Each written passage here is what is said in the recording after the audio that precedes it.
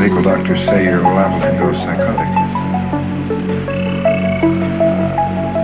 I don't know what psychotic means really, clinically. You know, I don't know. Nervous or introverted or what does it mean? Off your head.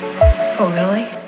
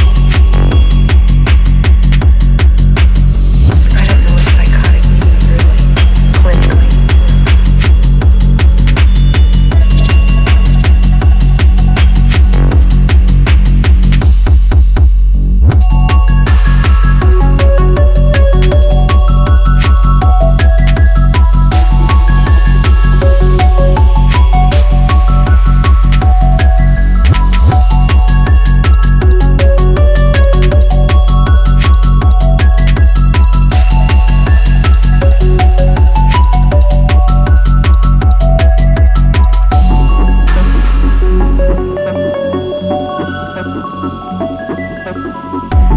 you're somebody that knows about stuff like this. And you can sit down and talk to me about it.